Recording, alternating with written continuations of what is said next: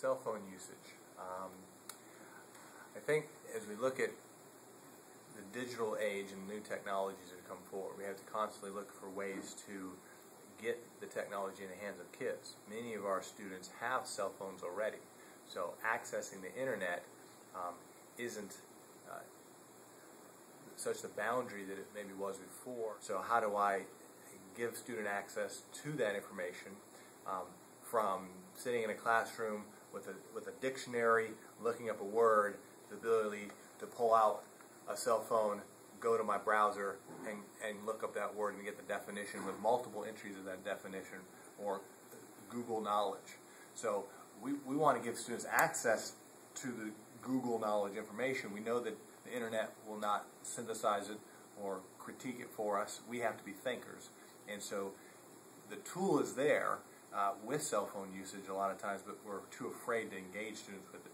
Now, for sure, areas of privacy, locker rooms, bathrooms, um, videoing students, our technology staff here is, is engaged students in projects of video production and creation, podcasting, uh, getting at, getting the the, uh, uh, the video shoots, getting the material to, to manipulate and create the videos and, and content we need to make sure we're asking permission of the students before I'm going to go and just go around and video people or take pictures of people. But those are things that the students need to learn today. Um, you know, without schools sitting and teaching kids how to utilize their cell phone effectively and how to sit face to face and engage in conversation in, in addition to just being online.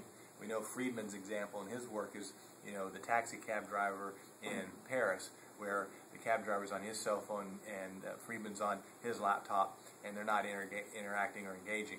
So sometimes I'm so engaged with somebody a thousand miles away, but I, I fail to engage with the person next to me.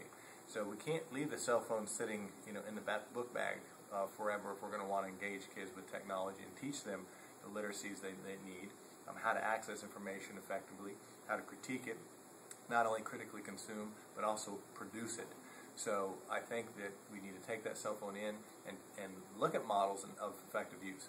One of the teachers in our schools uses a text blast, text.blast, txt.blast, and gets the kids texting, um, you know, text this number to, and then she sends out homework to the students as a reminder.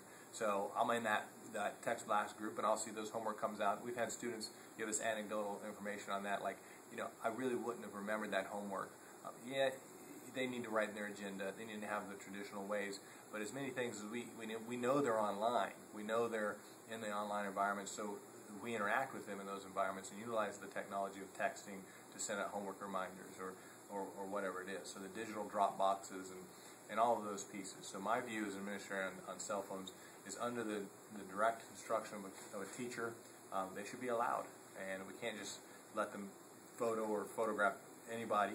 We need to teach them how to photograph, who, who they should be sending stuff to, um, and of course they shouldn't, you know, access inappropriate sites. But that's also the teaching element of um, internet literacies today. So that's my two cents, as it were, on cell phones.